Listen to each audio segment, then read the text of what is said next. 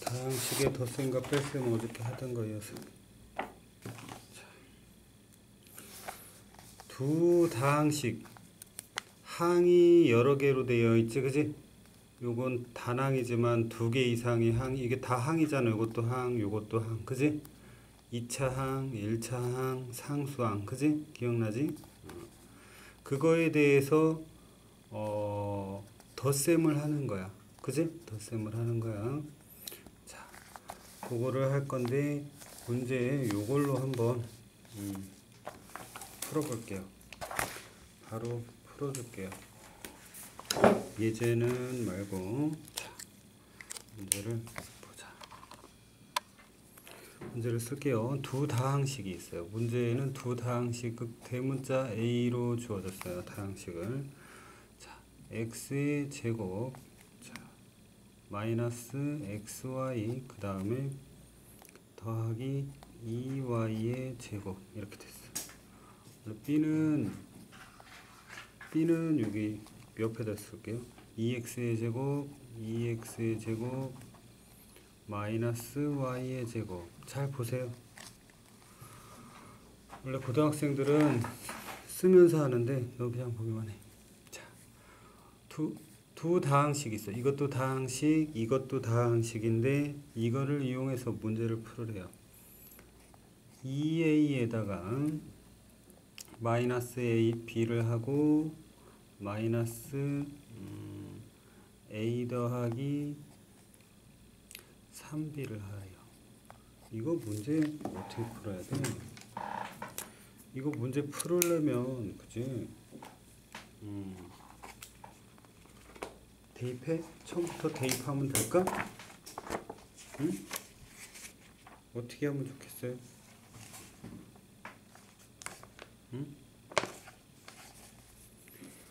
요거 요 식을 먼저 간단하게 만들어야 되겠지 이 식을 먼저 간단하게 만들 거예요 요거는 위에 거랑 같으니까 이렇게 할 거예요 이 가로 앞에 이 마이너스를 먼저 풀어줘야 되겠지 자 앞에 거는 플러스가 있는 거랑 마찬가지니까 요 가로는 플러스가 있는 거랑 마찬가지니까 뭐예요? 그냥 없애줘도 돼요. 2a 마이너스 b가 될 거고요. 다음에 얘는 마이너스 얘는 플러스가 있는 거잖아. 마이너스 플러스니까 마이너스 a라고 돼, 돼? 얘는 마이너스 3b야? 맞지? 동류한끼리 2a 마이너스 a예요. 2a 마이너스 a야 그러면 어떻게 돼? 불러봐. 뭐야? 뭐가 되지?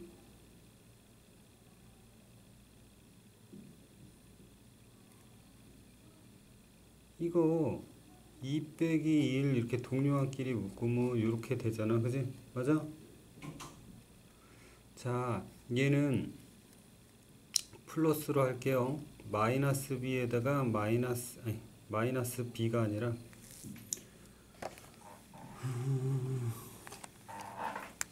마이너스 1이 되겠지 마이너스 1 그지 여기 1이 있는 거랑 마찬가지니까 그지 맞아 거기에다가 b가 될 거예요. 그래서 얘 간단하게 하면 2 빼기 1이니까 a예요. 근데 다음부터는 2a-a 하면 a 나오는 걸로 가야 돼. 알았지? 이렇게 수업은 안 해.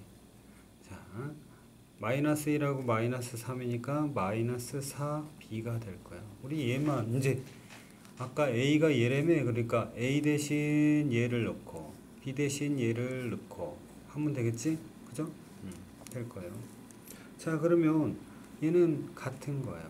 우리 a 대신 a 대신 쟤를 넣고 마이너스 4하고 b 대신 저 위에 있던 쟤를 넣을 거야. 그대로 넣으면 돼. 어,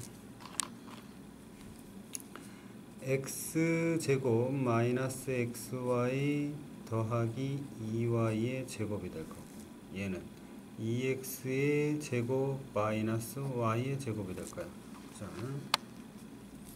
이제 똑같이 얘 풀어주면 되겠지 마이너스를 얘 플러스니까 없애주고 x의 제곱 마이너스 xy 더하기 2y의 제곱 이 마이너스니까 마이너스 8 x의 제곱 이렇게 될 거야 얘는 마이너스 마이너스니까 플러스 4 y의 제곱 그죠?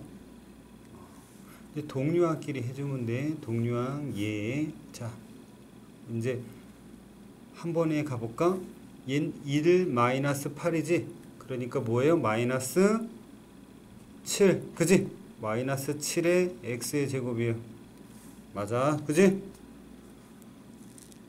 대답해. 자, 그 다음에 x가 있는 애는 얘밖에 없지. 그지? 얘밖에 없어요. 그러니까 뭐예요? 마이너스 xy. 그 다음에 y제곱은 2가 있고 여기 4가 있지. 그지? 그러니까 뭐겠어? 플러스 6y의 제곱이 될 거야. 이게 바로 답이에요. 다음 세칸 남았으니까 절로 위로 올릴게요. 자, 우리 음, 문제 1-2를 풀었어. 이게 이 문제가 1-1번 문제였어. 큰일한 거지. 1-1번 문제였어. 자, 이제 1-2번 문제로 풀게요. 1-2번 문제로 풀도록 하자. 두 다항식이 있어요. 똑같아요. A 그죠? A A가 뭐냐? A 제곱 다항식이에요. A 제곱 마이너스 2 AB 그 다음에 마이너스 2b의 제곱 이렇게 생긴 다항식이 있고요. 그 다음에 대문자 b는 2a의 제곱 더하기 ab